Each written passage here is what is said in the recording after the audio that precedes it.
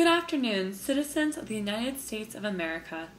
As your president, I am deeply pleased to report today that the state of our union is stronger than ever. The members of your government are being more productive in order to bring you the highest quality of liberty and justice that tax dollars can buy. Unemployment is the lowest it's been in over eight years, and our people are thriving.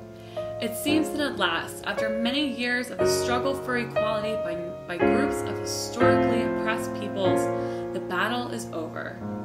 We are becoming a group of united Americans and thus increasing the general happiness of our people. Our healthcare system, for example, has never been better, and Americans are living longer and healthier lives as a result.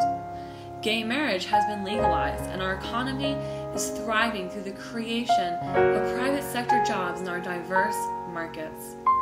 The majestic agricultural tradition, steeped in American history and folklore, has never been stronger.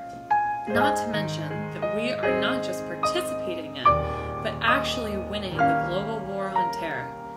Domestically, we guarantee to take care of our veterans when they return home. And with our, what I like to technological superiority, we guarantee a more perfect and secure world. All of us here in the government are striving for total transparency so we can better serve you, the voters, and will go to the ends of the earth to guarantee the continuity of American exceptionalism. And therefore, to you, I promise to continue working to form a more perfect union.